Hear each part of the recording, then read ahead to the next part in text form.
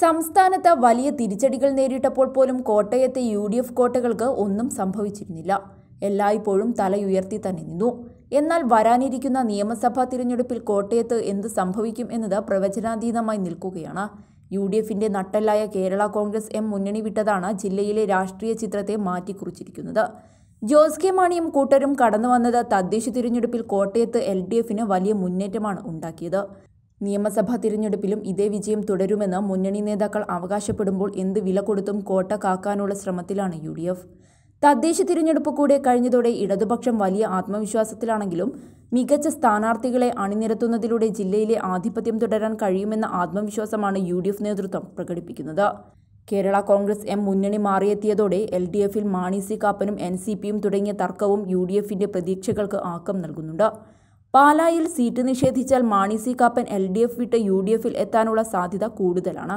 ഇക്കാര്യത്തിൽ അടുത്ത ഏതാനും ദിവസങ്ങൾക്കുള്ളിൽ തന്നെ തീരുമാനമുണ്ടാകും.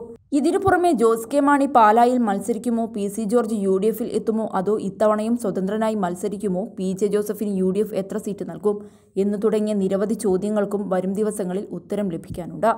ഇരുമുന്നണികളുടെയും സ്ഥാനാർത്ഥികളുടെ കാര്യത്തിൽ ഇപ്പോഴും അവ്യക്തത നിലനിൽക്കുകയാണ്. പാല ഒഴികെയുള്ള മണ്ഡലങ്ങളിലെ സിറ്റിംഗ് എം എൽ എമാർ അതാത് മണ്ഡലങ്ങളിൽ മത്സരിച്ചേക്കുമെന്നത് മാത്രമാണ് ഉറപ്പിച്ചു പറയാൻ കഴിയുന്നത്. ചില എം എൽ എമാർ മണ്ഡലം മാറിയേക്കുമെന്ന റിപ്പോർട്ടുകളുണ്ടെങ്കിലും അവർ അത് നിഷേധിക്കുകയാണ്. മാണി സി കാപ്പനും പി സി ജോർജും യു ഡി എഫിൽ എത്തിയാൽ നിലവിലെ സമവാക്യങ്ങളിൽ വലിയ മാറ്റവും പ്രതീക്ഷിക്കാം. അതേസമയം യു ഡി എഫിൽ മൂന്ന് സീറ്റിൽ മാത്രമാണ് തർക്കമില്ലാത്തത്.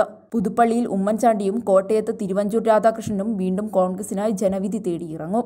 കടുത്തുരുത്തി പി ജെ ജോസഫ് വിഭാഗത്തിന് തന്നെ വിട്ടുകൊടുക്കുമെന്നതിനാൽ മോൻസ് ജോസഫിന്റെ സ്ഥാനാർത്ഥിത്വവും ഉറപ്പാണ്.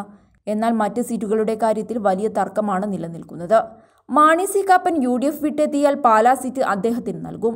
വന്നില്ലെങ്കിൽ സീറ്റ് ആർക്ക് എന്ന കാര്യത്തിൽ കേരള കോൺഗ്രസ് ജോസഫിനും കോൺഗ്രസിനും ഇടയിൽ തർക്കം നിലനിൽക്കുകയാണ്.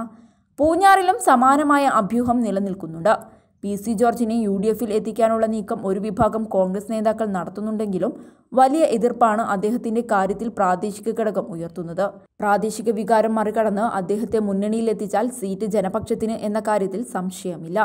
ആകെ ഒൻപത് നിയമസഭാ മണ്ഡലങ്ങളാണ് കോട്ടയം ജില്ലയിലുള്ളത്.